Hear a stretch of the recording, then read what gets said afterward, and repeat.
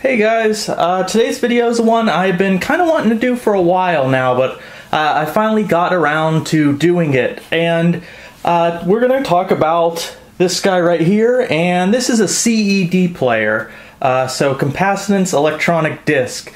And um, this is this is an interesting little movie media format.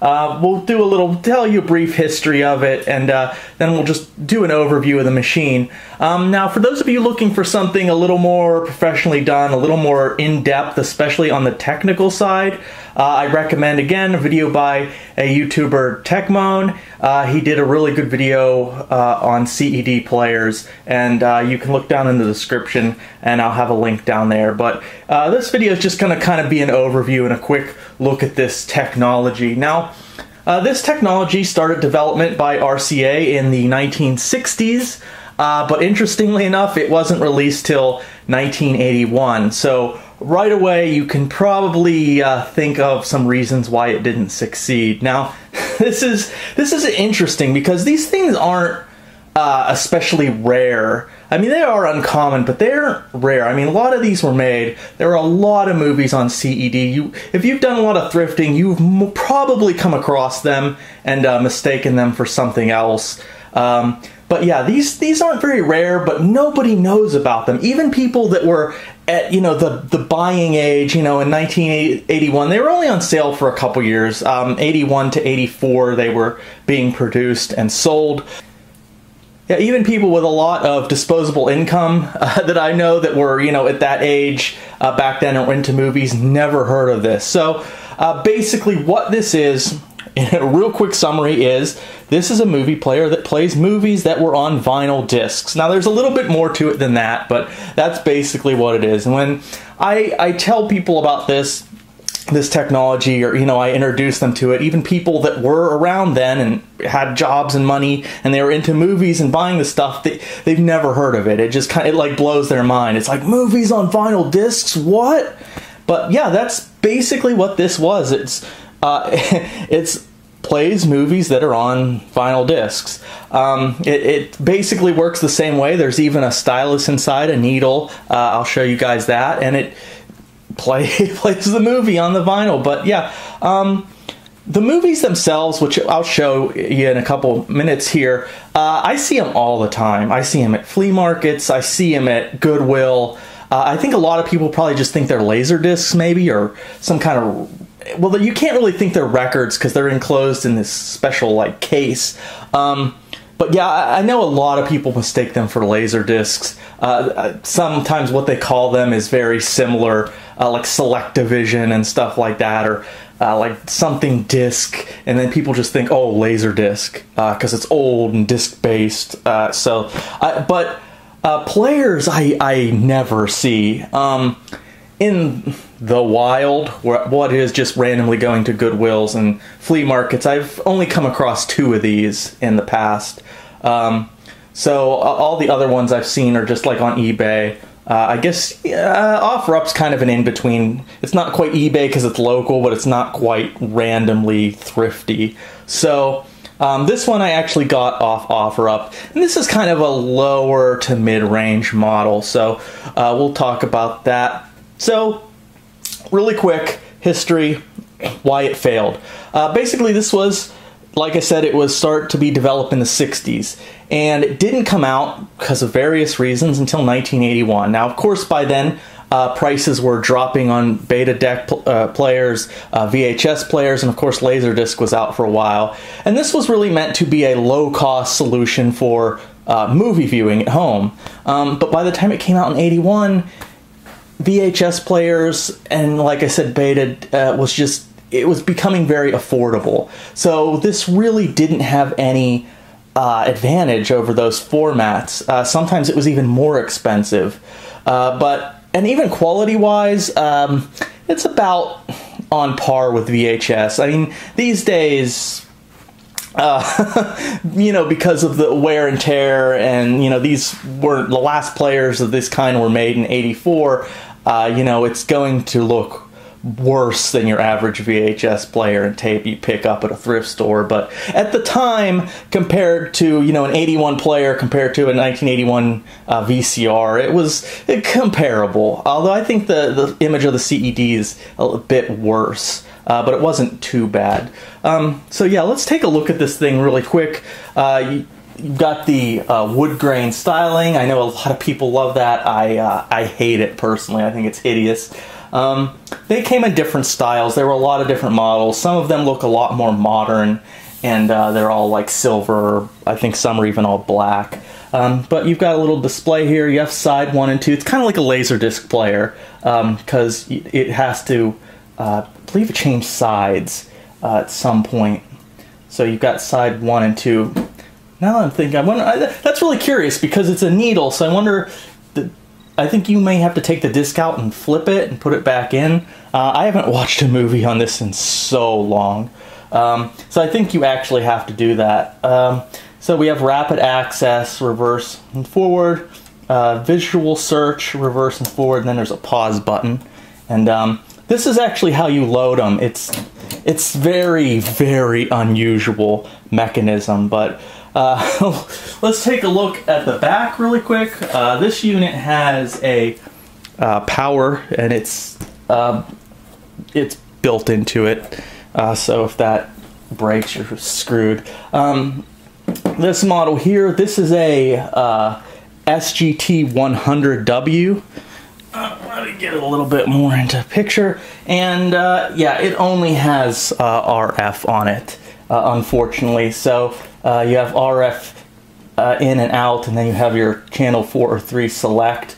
Um, some of the more high-end players did have uh, composite uh, and two uh, RCA stereo for audio, which is nice, but uh, it seems like a bulk of the players only had RF, which makes sense for the time, but um, I do have a composite player with composite and stereo RCA jacks, but unfortunately it's in my storage unit.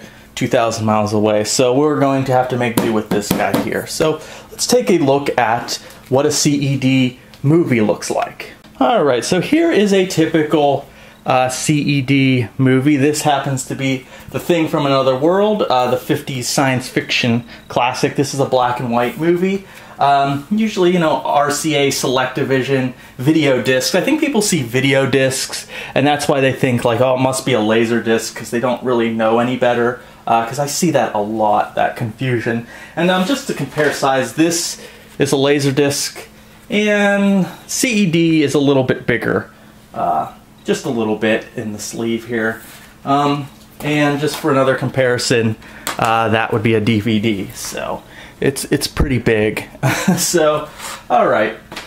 So yeah, this is your CED. Now this is like a plastic case, and inside here uh, there is a vinyl record and basically you put it in and then uh, the machine grabs it and you pull it out and you never touch the vinyl. The vinyl record or vinyl movie uh, always stays in the player and you never touch it.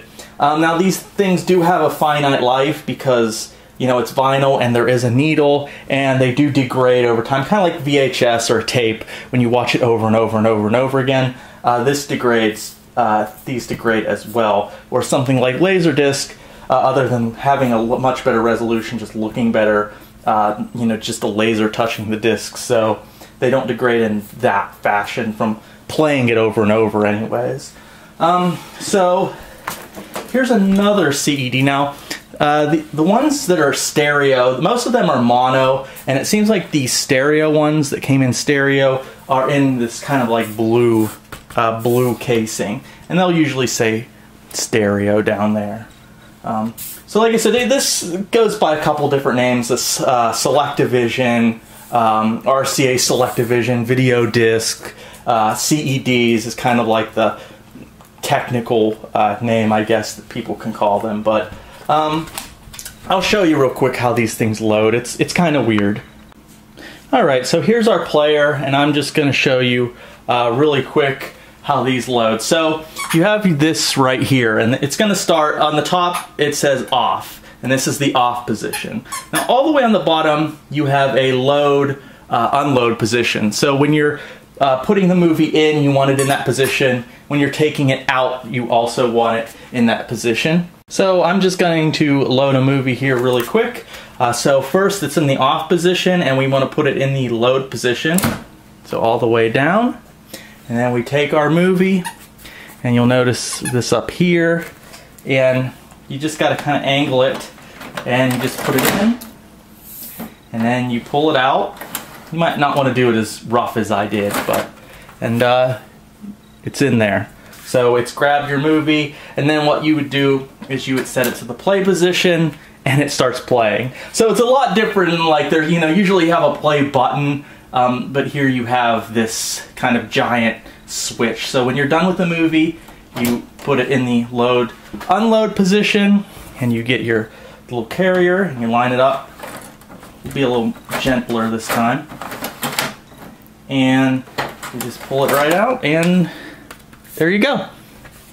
So let's take a look you can there's a little compartment at the top because you do have to change the stylus in these. Um, so let's take a look uh, inside really quick or at least a limited view inside.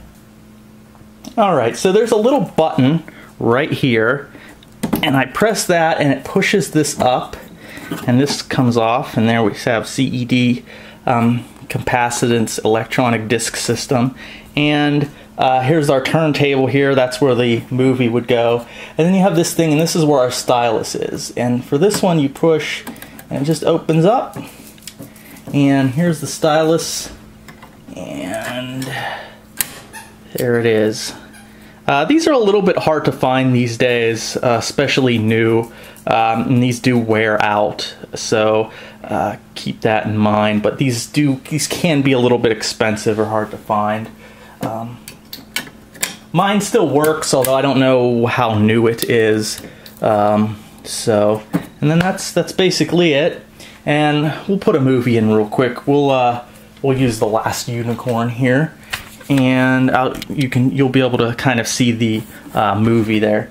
All right, so there's just a little bit uh, better view of that's where our movie's going to end up being, and uh, let me just I am inserting the movie now, and sorry for the shaking, and there it goes, and then as I pull it out, you see there's our movie in there. And so it's going to spin, and here's the stylus, and it's going to go over it, and it's going to read it and play it as a movie. So, and then you take it out, you just put right back in, grabs it, pulls it out. All right, so we're just gonna, I'm just gonna show a bit of a snippet. Uh, I'm just gonna use the TV and just take footage of it. I'm not gonna do a direct capture.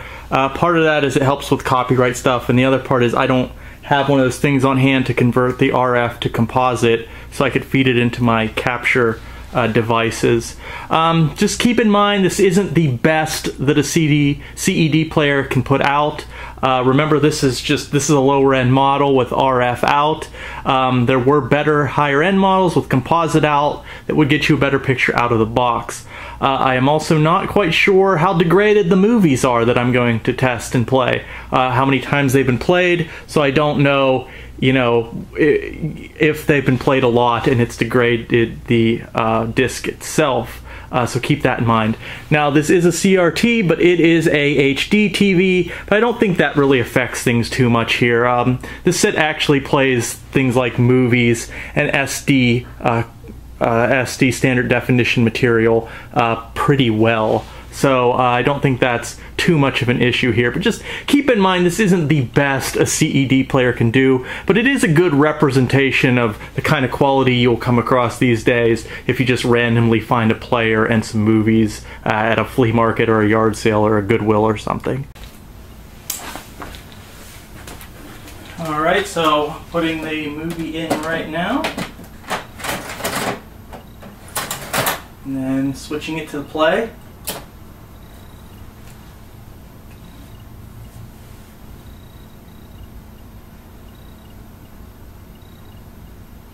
I think it does. Have done? Only saved you from the Takes a minute. magic. That's all I've done. By magic. By my own true magic. Yeah, uh, so this one I haven't done anything with. I don't know why it didn't start from the beginning. You're not. The power will come to me whenever I need it. And But you can see it's it's watchable, but it's very fuzzy. Now, Right. I'll try playing with the... Meant to turn her into a human Yeah, even playing with the RF to get a better connection doesn't really help. The magic shows the shape, not I. All right, so um, I pulled, took the disc out and I flipped it and put it in. So I that was probably what happened. Uh, somehow in the sleeve, it probably got mixed up side A and B. So let me hit play, and it takes a minute to spin up and start playing the movie. So give it a second, and it should be doing. There we go. Yeah, that was the problem. Ah, look at that. all in all, you know, not bad, not too bad. Um, but yeah, I, I'd still rather have a VHS copy, to be honest. Um, but it's definitely watchable.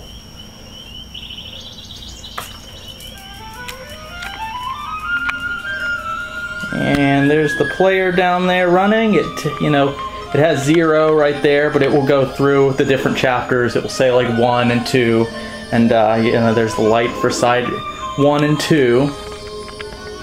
So I'll put in uh, Thing from Another World uh, really quick. Alright, so now we have the Thing from Another World spinning up.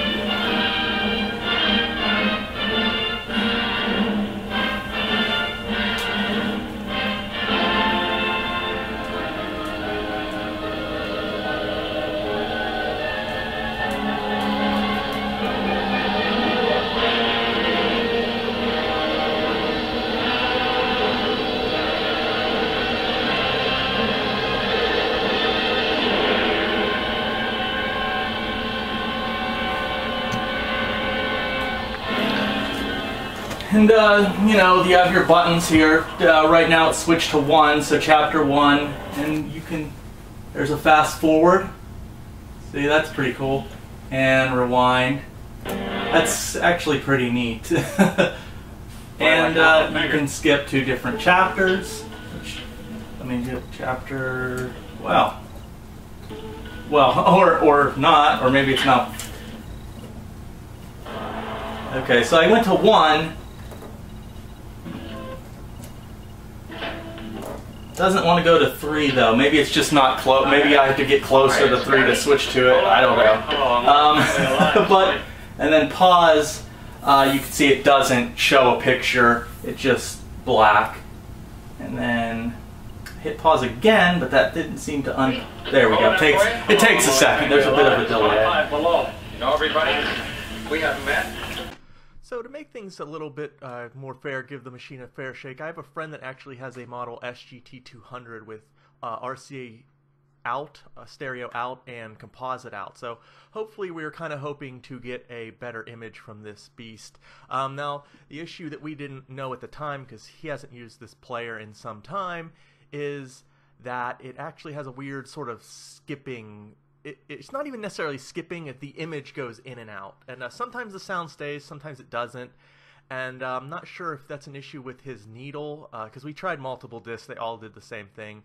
So i don't know if his needle's wearing out or uh, it's a, maybe an issue with the video out or the tv itself where it's dropping the signal constantly. But um, yeah just that that was the issue we came across. Uh, but yeah, the, the image was noticeably better with his machine, uh, especially when we actually had a brand new sealed disc. Uh, so yeah, the, it, the image was better. Still not what I would consider even VHS level, uh, but uh, it did give a better image. before, now there's twice the sound, you know. Because we've gone stereo.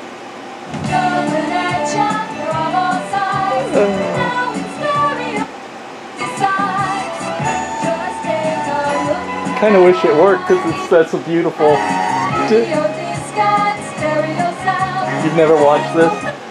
Value around. I It's awesome, isn't it? Yeah, oh yeah.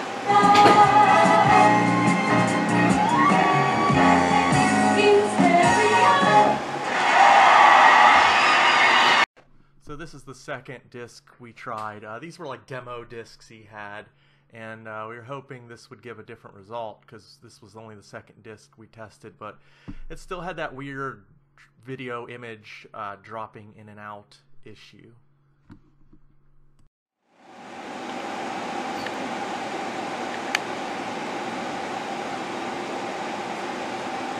The next six minutes, we're going to show you magic. Magic you can have on home. Bring the magic home. RCA. The magic of the RCA video disc. That, like magic, can bring not just sound, but sound and pictures.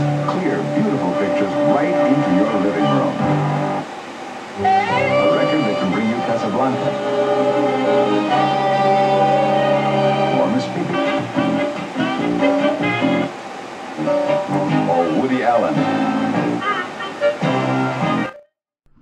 Thing about CED is the image is more, I guess, stable than a than a VHS. It, you know, as in you don't have, really have tracking lines, but then you have to deal with things like skipping and whatnot. So this is a brand new sealed CED he had. I never heard of this movie before, so we're gonna test it out. Now remember. Uh, it is said a lot of time that CED had a better, slightly better image quality than VHS, but I think that's under the best circumstances. A player with composite out, like a new or a very new uh, CED movie, and a new needle to really get the best out of these things.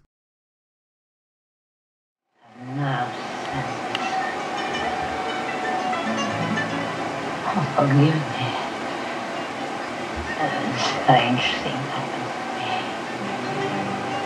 Difficult to explain. All right.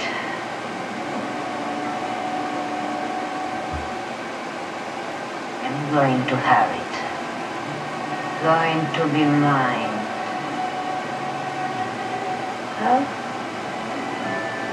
I didn't finish the So, what are my thoughts on the RCA Selectavision or CED player, um, or even affectionately or unaffectionately, as the uh, members in some Laserdisc forums call it, Needle Vision? Um, so, uh, what is my opinion on this thing? I think if this would have actually came out in the 70s or if somehow RCA really sped up their research and you know didn't drag their feet and it actually came out in like the late 60s um, but definitely the 70s i think this thing would have had a chance. I, I think this could have been big and this could have been in a lot of homes. Um, obviously eventually it would have been superseded by vhs and laserdisc for the high end. Um, but I think this would have been successful, and people would have known what it was because it would have been maybe in in a lot more households, um, especially starting in the 70s. But uh, you know, I believe this is the machine that uh, bankrupted RCA. It cost them a lot of money. It just came out way too late.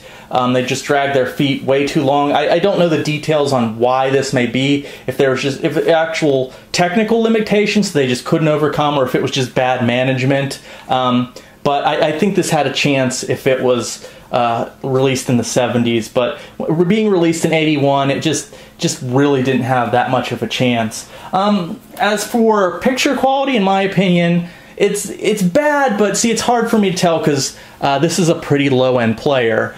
Um, I have a little bit of experience. Uh, my friend has one with composite out, which is a little bit higher end, and I remember I had one but with composite out, but I haven't messed with that one for like 10 years. It's back home in storage. Um, so this machine doesn't give a representation of the best image that a CED player can put out, but uh, it is kind of representative of what you're going to find today and uh, it's it's watchable. It's definitely watchable.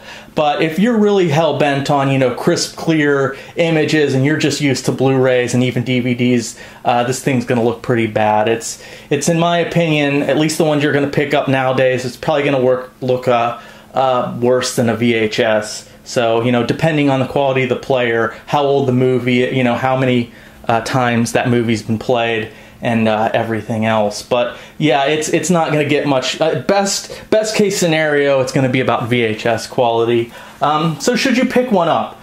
Uh, there's really no reason to. Um, I mean, unless you're like me and you just like this weird kind of old technology, um, there's not too much reason. I mean, even something like Laserdisc, which I love and collect, I can find reasons. Um, you know, the artwork on the sleeves, which sometimes it's the same as CEDs, but uh, the CED artwork doesn't hold up quite as well, in my opinion. Um, I do. I even know a guy locally that collects CEDs just for the artwork. So I guess that's one reason. Uh, but you may as well just go with Laserdisc because uh, as, as far as I know, there's nothing that was like exclusive. Like oh, it was only released on CED or there's special features only on the CED version. Um, not that I know of. Pretty much, you know, at least Laserdisc, you can say, oh well the Laserdisc has special features that haven't even been released on uh, DVD or Blu-ray or something, but uh, that, I don't think that's the case for CED. Um, plus, you know, Laserdisc image quality is far, far greater uh, than CED. So it is kind of a neat little thing. Um, if you're into this kind of stuff, uh, the movies are, some of them are rare, and there is a collector base around this these things. Um, but I've seen the movies pretty regularly. Uh, I've even run across stacks of them at Goodwills and flea markets. The players themselves can be hard to find, but if you just keep being persistent, perusing Craigslist, OfferUp, um, you know, eBay I think is a little expensive. Um, that's another problem you'll come across. People uh, think these things are like have gold bars inside them or something. Uh, it just seems like people think these are worth so much money, and you'll commonly see listings. It's like old, rare, collectible. Uh, stay away from those unless you know they've been up for a few months, and maybe you can uh, throw them an offer and they'll become reasonable. Um, I've had some bad stories with going to pick these things up, and people change uh, you know, the price on me. Um, I, for this video, it was maybe a year or two back. Um, there's a real high-end player with composite out, and um, it was on, I believe it was OfferUp, and I was talking to the lady, and she was very nice. I think it was like 20 bucks she wanted for it, which is very reasonable. Um, the day I was supposed to pick it up, she messaged me and she's like, hey, she's very apologetic, uh, nice lady, uh, but she said it was her mom's, and her mom is the one that asked her to post it, and uh, someone, somebody told her mom that they are worth a lot of money on eBay. And so she was not allowed to sell it to me because her mom wanted some ridiculous amount, like $200. Uh, and the funny thing is, what the daughter told me is she had actually previously had that player on eBay listed for like 200 250 and she said it sat for months and months and months and no one would buy it but her mom insists that it was worth a crap load of money so uh, who knows? Maybe that player's still sitting on eBay. Uh, so, um, so yeah, you got to watch out for that. People think these are worth a lot of money. Uh, the other one, you know, the two I found um, out in the wild, I guess as we call it. Um, the one was at a flea market. This was year, maybe 15 years ago. I think the guy won it 20, 15 or 20 bucks. I can't remember. That's the one I picked up. That's in storage. And the other one, uh, me and my friend came across was at a St. Vincent de Paul and uh, they wanted a ridiculous. They wanted like 120 bucks for it, which is just too much.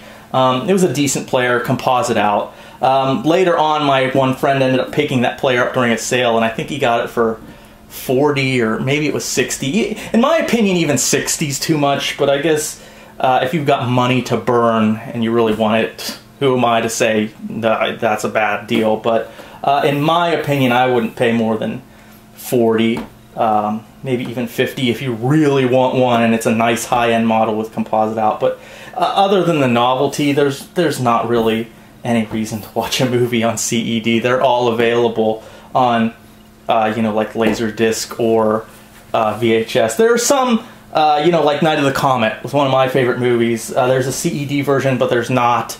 Uh, well, there is a Laserdisc version, but it's a Hong Kong release. It's really rare and stuff, but you'll find situations like that, but that movie's also available on Blu-ray, DVD, and VHS, probably Betamax too. Uh, so it's just there's just not a whole lot of reason, but it is an interesting, neat technology. So Um, also, I, I, think it's worth mentioning real quick. There's actually uh, something called VHD, I believe, and it was Japan only, and it's sort of a more advanced version the CD, and it lasted for quite a bit longer. Um, the gentleman uh, that does the YouTube channel uh, Techmoan that I mentioned earlier, he did a video on that technology too. I'd I'd love to get my hands on one of those players, but uh, they're really expensive, and I'd have to import it from Japan and uh, yeah, it's probably not going to happen. But um, yeah, I hope uh, you guys learned something, and that was the video on the CEDs and CED players. So if you like this kind of content, uh, give me a thumbs up, a like.